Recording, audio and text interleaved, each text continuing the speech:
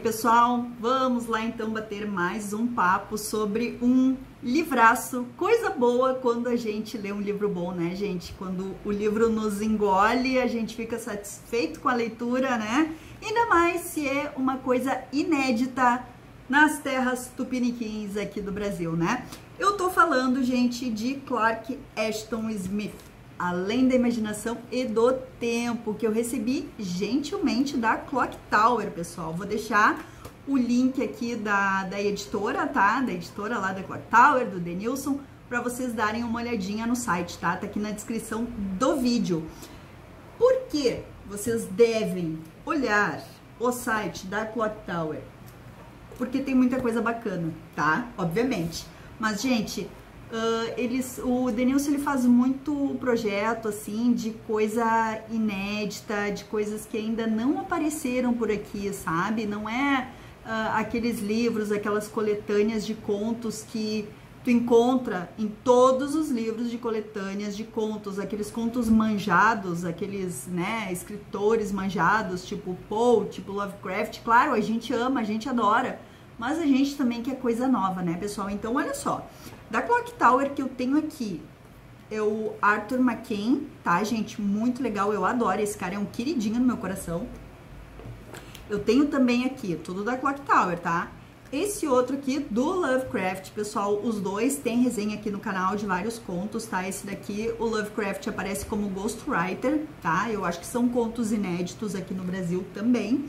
E agora com o Clark Ashton Smith. Então, Clock Tower é a primeira editora trazendo coisas do CAS, como a gente chama, né? O CAS, tá, pessoal? Então confiram, porque assim que sair outros, outras edições, outros exemplares, vocês não perdem, né? Vocês já fiquem de olho para não perder, então, essa oportunidade. A qualidade é muito boa, tá, gente?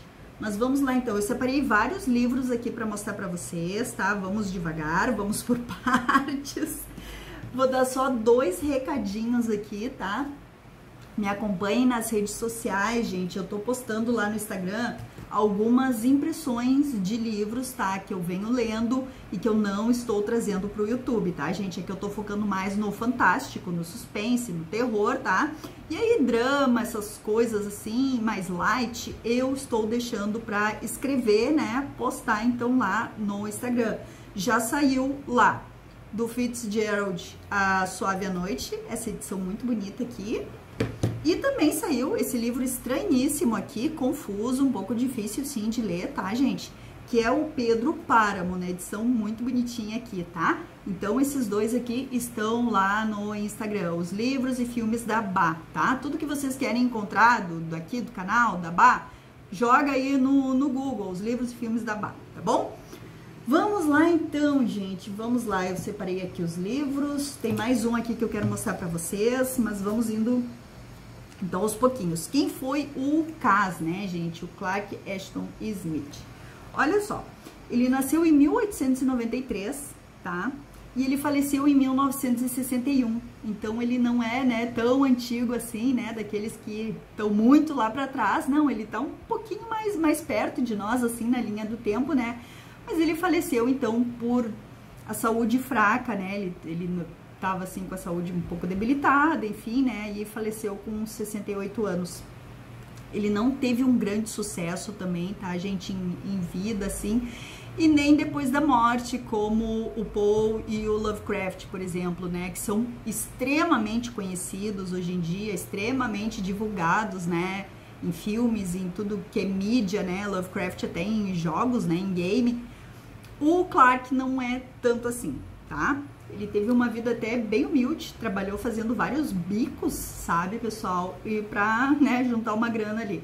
Deixa eu arrumar minha lampinha aqui, gente, pra ficar mais iluminadinho aqui pra vocês. Se escurecer um pouquinho, paciência, tá, gente? Acabou a bateria da minha lampinha, mas ainda tá funcionando. Vamos lá. Então, ele foi contista, poeta, escultor e pintor. Olha só que legal, gente, que fenomenal, né? E ele junto com esse outro cara aqui, o Robert E. Howard, que cometeu suicídio e eu não sabia, tá? Que é o criador do Conan, mas conversamos numa outra oportunidade, quando eu li essa edição aqui, que tá muito bacana. Juntamente com o, o E. Howard e com o Lovecraft, eles fizeram uma grande trinca na Weird Tales, pessoal, que até vou ver se eu deixo umas imagens aqui dessa revista para vocês.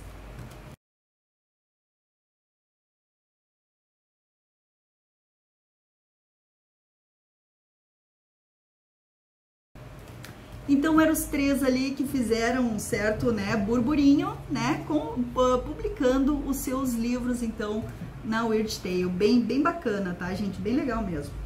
Gostei. E aí, gente, aqui, então, nós vamos ter vários contos, que eu já vou mostrar um pouquinho a edição aqui para vocês, sobre... Gente, ele fala de tudo um pouco.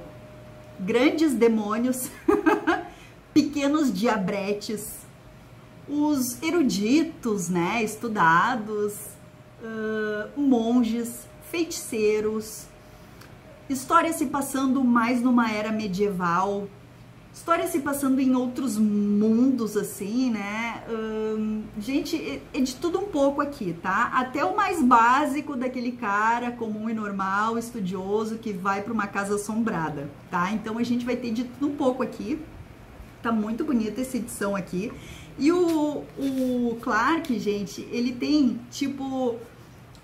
O Lovecraft, o carinha de bunda, tem o Necronomicon, né? Ai, aquele livro e tal, do árabe maluco e tal. E o Clark tem o livro de Ebon, que é a mesma coisa também. É um livro que contém né, um grimório cheio de mistérios e feitiços e aquela coisa toda. Então é muito bacana, gente, muito legal mesmo ele meio que criou todo mundo, assim, sabe, particular ali, uh, e, e tem muita contribuição também para os mitos do Cthulhu. Então ele fala que ele emprestou um pouquinho para o Lovecraft e também tomou emprestado um pouquinho do Lovecraft, porque inclusive tem um conto aqui dele que ele fala do Necronomicon, realmente ele cita diretamente o, ne o Necronomicon, tá? Então eu vou anotar, vou mostrar aqui para vocês a edição vários contos de tá, gente? A maioria para mim foram muito bons. Tem um ou dois que eu achei mais ou menos, o resto foi bom e muito bom, tá? que mais aqui? Aí tem uma introdução, né, gente? Bem bacana. Tem fotos. A carinha dele ali. O que mais? Eu quero mostrar aqui pra vocês a foto até da casa dele onde ele morou, onde ele estudou. E também, gente, cadê? Tem ilustrações das cidades onde se passam os contos. E aqui também, gente, é tipo Lovecraft, aquelas, aquelas aquela, aqueles nomes impronunciáveis, né? Aquelas cidades com nomes impronunciáveis. Então, aqui, ó, essa daqui é Hiperbórea. Até que essa daqui tá fácil para falar, ó. Muito bacana. Então, é, é todo mundo, assim, que a gente entra, tá, gente? Um mundo bem peculiar, muito legal. Tem histórias passadas, assim, uh, nos, na, na, nossa geração, assim, né? No, né? no nosso século, né? Mas tem coisas assim que ele vai te jogar lá para era medieval, gente. É muito interessante. Deixa eu ver mais coisas aqui para mostrar para vocês. Aqui vai ter um poema aqui no final, né? Nosso poeta, ele ficou conhecido também como poeta do Weird, tá? O, o Lovecraft elogia muito a escrita dele. Ele tem uma escrita assim não tão rebuscada quanto a do Lovecraft, tá? Depois eu vou ler uns trechinhos para vocês terem noção mais ou menos como é, mas é um é, é rebuscada também, tem vários adjetivos, né? Em alguns contos são mais diretos, tá? Mas outros parece bem estilo Lovecraft, assim com vários adjetivos, né, e advérbios. Então aqui, gente, tem um guia com vários dos contos dele, a obra dele, com o ano, com o título original, muito caprichada a edição. E aqui, gente, tem um glossário, então, né, desses termos e essas palavras aí que a gente nunca ouviu falar, que ele usa bastante também. Então a gente pode estar consultando aqui. Ele fala até do livro de Eibon aqui, né, o que que é que é do mago de mesmo nome e tal. E aí nós temos uma carta do Lovecraft de 1922, elogiando muito ele, né? E a partir de 23, então, ele começou a escrever para Weird Tales. E em 22, ele e o Lovecraft começaram, então, a ser amigos, né? Se tornaram muito amigos através de missivas só, né, gente? Até a morte do Lovecraft ali em 1935, eu acho, 35 ou 37, tá? Se eu não me falha a memória. E aí temos outra carta aqui, do outro ali que eu falei pra vocês, do Robert E. Howard, né? Tem outra carta dele aqui escrevendo, então, dizendo que gostou e tal, né? Enfim, eles se tornaram, então, essa trinca, né? Viraram amigos e escreveram, então, para Weird Tales, tá? E no final aqui tem os apoiadores do projeto, tá? Bem caprichado, uma folha super boa, amarela, tá, gente? E aqui no final, carinha dele ali, tá? Vamos lá então, gente. Eu não vou falar de cada conto porque esse vídeo não teria fim, né? Mas então, assim, vocês já entenderam mais ou menos como é a vibe, né, da, dele aqui, das, das histórias, bem, bem diferente, bem criativo. E assim, a gente vai ter, por exemplo, um conto de um cara que é, ele parece um Baudelaire da vida, ele tá cheio da coisa, das coisas mundanas, ele não sabe mais o que, que pode trazer prazer para a vida dele. Então falam para ele, ah, vai lá no tal cemitério que tem uma mulher lá, não sei o quê. E ele vai, existe a lenda da Lâmia, que a Lâmia é, é mais ou menos assim como se fosse uma vampira, tá, gente? E, a grosso modo, né? Então ele vai para esse cemitério e ele realmente encontra uma mulher lá muito bonita que passa as noites então conversando com ele, ele fica apaixonado por essa mulher, até que ele quebra a cara, coitado. Depois nós vamos ter um outro conto, gente, que eu achei muito bacana. Ai, gente, os monstros dele também assim, aquelas coisas indescritíveis também, né? Tipo Cthulhu assim, pra, pra pior até. Então, nesse outro conto aqui, a gente vai ter um cara né, que está numa livraria. E ele pega ali um livro e vê um demônio nesse livro, né? A figura de um demônio. Gente, ele olha pro lado, não tá o demônio ali do lado dele. Não é nem demônio, gente. Eu, ele, ele usa muito essa, essa figura. É algo branco, meio sem forma, que me lembra um verme, gente. Pela descrição, o que me vem na cabeça é um verme gigante, sabe? Mas meio que com braços assim. Enfim, então ele olha para o lado, aquela criatura tá ali. E ele vai visitar um amigo dele e vê que o amigo dele tá fazendo desenhos, né, pintando telas com essas mesmas figuras demoníacas. Gente, muito legal esse conto também, eu gostei bastante.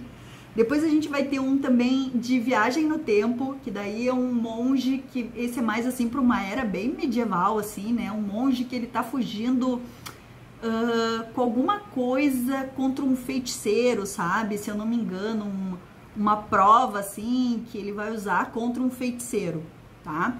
E aí ele, ele acaba voltando no tempo, gente. Ele entra numa taberna e taberna ou taverna? Gente, eu sempre me confundo. Enfim, me corrijam. E aí ele entra nesse local, ele volta no tempo, ele encontra uma mulher, ele se apaixona, ele sendo monge. E aí ele tem que voltar para o momento presente, porque ele precisa cumprir com a missão dele, né? E ele volta, só que ele não volta na época errada, ele volta mais à frente ainda. Gente, muito legal esse conto também, eu gostei. E um outro que me lembrou muito do Álvares de Azevedo, que tá aqui, gente, que é o conto Demônios, que tem resenha aqui no canal, que é um dos melhores contos que eu já li. Inclusive, eu recomendo essa edição aqui da Dark Side, para quem quer ler contos de terror nacional. Gente, que coletânea sensacional. Assim, ó, 90% dos contos que estão aqui eu me apaixonei, tá? Eu acho que eu já falei desse livro aqui, mas eu não fiz resenha de, de todos. Eu acho que eu só fiz resenha de demônios. Procurem aí. E por que que esse conto que tá aqui me lembrou? Porque é um cara que ele encontra um tipo uma pedra assim oval, uma pedra filosofal, alguma coisa assim. Eu não vou precisar para vocês porque são vários contos, né, gente? Então não tem como eu falar tudo direitinho de cada um deles. E aí ele olhando essa pedra, né, esse amuleto, ele vai voltando no tempo, gente, mas voltando para a criação da Terra. Muito legal também, gente. E a escrita dele é muito bem ambientada, detalhada, então a gente realmente mergulha na história de verdade, né? Tem um outro conto aqui também, gente, que é um cara que ele ele vai atrás da, da noiva, né? Que ela foi raptada, alguma coisa assim. E ele ouve falar que ela foi parar numa ilha. E ele vai para essa ilha, né, buscar o amor da vida dele. Só que chegando lá, gente, é uma ilha de um necromante. Então é um feiticeiro também que, gente, ele fica mantendo aquelas pessoas, várias pessoas, como se fossem zumbis, assim. Gente, é muito bizarra também essa história, mas eu achei bem legal também. E aí eu vou ver duas aqui para me aprofundar um pouquinho mais para vocês, que eu achei maravilhosas as duas histórias. Que uma delas é A Prole Inominável. Olha só os títulos, né? Bem tipo do Lovecraft também, ó. Tem A Prole Inominável, O Retorno do Feiticeiro, a gente vai conversar sobre esse também. Ubo Satila, tá? A Porta para Saturno, ele tem essa coisa de terror cósmico também, bem forte, tá, pessoal? A besta de Averwane, não sei pronunciar isso aqui, mas esse daqui tá, acho que é em francês até, pessoal, era para ser mais ou menos isso.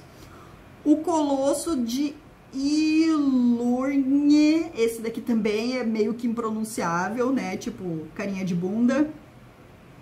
Mortila e as Abominações de Yondo. Tem outros contos aqui, mas aí é com, com um título mais normal, tipo A Volta do Verme Branco, ó, que eu falei para vocês que parece um verme branco. Ai, gente, mas tem várias outras criaturas aqui, gente, descritas de infinitas outras formas. Mas vamos lá então pro para prole inominável. Como é que é esse daqui? Uh, é um rapaz, né, que ele ele tá indo assim de motocicleta, né, para umas paragens assim mais afastadas, né, de Londres. E ele acaba parando então para passar a noite na casa de um homem que era amigo do pai dele, né? E ele, né, bate lá, tudo, o mordomo atende, né, reconhece ele e tal, e chama então o senhor da casa, o anfitrião, que tá bem assim com aspecto bem debilitado, mas convida ele para passar a noite ali e tudo, né? E aí ele lembra que o pai dele contou uma história de que a mulher desse anfitrião, ela tinha meio que uns colapsos assim e ficava como se em estado de morta, mas, né, logo voltava, né, gente? Né, tinha uns ataques ali, catalepsia, né, enfim. E aí teve num desses ataques e ela não voltou. Ela realmente, né, morreu, tava ali toda rígida, né, aquele rigor mortis, né, enfim. E aí, claro, levaram o corpo para cripta da família, né, numa colina, ah, toda aquela descrição maravilhosa, né, gente? Então, ele lembra dessa história e de que depois ouviram um grito na noite e foram na cripta e encontraram a mulher do anfitrião sentada na sepultura, gente. Que loucura. E ela diz que só se lembra de algo branco grande, volumoso, assim, muito próximo dela, né? E ela meio que em estado de choque. Mas, enfim, a mulher estava viva, não se sabe como levaram para casa. E aí ela ficou num estado febril, né? Vários meses. E depois, de, depois desse episódio, né? Nove meses depois, ela dá a luz. Agora de quem eu não sei, né, gente? Isso não tá aqui no conto. Então ela dá a luz ao monstro, pessoal. E aí no parto ela não resiste e ela falece. E aí aqui a gente tem aquela história bem, bem clássica, né, do, do da mansão, né, já meio decrépita, que mantém uma criatura, né, no calabouço. É bem assim, tem vários filmes assim, né, gente, inclusive com Vincent Price. Então é com Christopher Lee também. Então essa história é assim, né? Ele se lembra então dessa mulher, né, dessa história da, da mulher do anfitrião, tá, e ele passa a noite lá, enfim, só que ele começa a ouvir uns barulhos de arranhões, né, e meio que um grito, assim, e o mordomo passa com uma panela com um cheiro muito ruim de carne estragada, E até que no meio da madrugada, gente, o anfitrião morre. O dono da casa morre, gente, bate as botas. E aí o mordomo apavorado, né, chama ali o nosso nosso personagem, né, o, o Henry, e fala para ele, meu Deus, o patrão morreu, tá morto. E aí pede para que o Henry passe a noite ali, porque o mordomo não quer ficar sozinho de jeito nenhum. Tá com medo, tá apavorado. E aí eu paro, né, de contar a história por aqui, né? Nós vamos aí para um outro conto. Que esse daqui, gente, é o Retorno do Feiticeiro. É um conto que tem uma, uma adaptação para aquela série fenomenal, que é do Rod Serling também, né, gente, que é o, o criador do Além da Imaginação, que essa outra série é a Galeria do Terror. Quem não lembra de Galeria do Terror? Gente, eu adoro essa série. Então eu, eu assisti até essa noite, né, esse episódio baseado nesse conto aqui. Eu acho que foi a terceira ou quarta vez que eu assisto aquele aquele aquele episódio da série, né? Tá na terceira temporada com o mesmo, mesmo título, Retorno do Feiticeiro, que é com Vincent Price também, tá? E aí, essa história é de um rapaz que ele é contratado para trabalhar num casarão também, porque ele, ele fala árabe, né? Ele entende, ele traduz e tal. E aí, o dono da casa, né, fala que precisa que ele more lá para traduzir uns livros antigos, né, os grimórios e é o Necronômico. E aí ele tá lá traduzindo e tudo.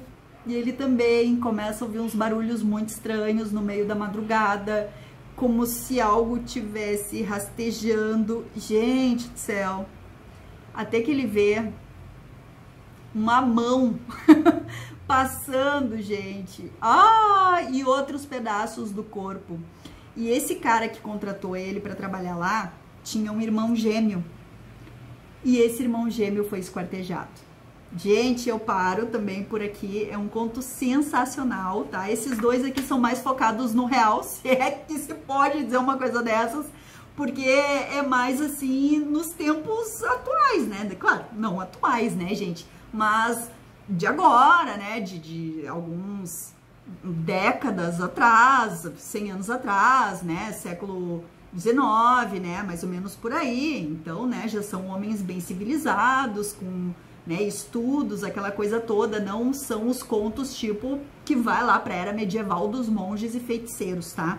É bem sortida, então, essa coletânea. Eu achei bem legal e eu vou ler aqui uns trechinhos, então, para vocês terem ideia mais ou menos de como é a escrita dele, enfim, né?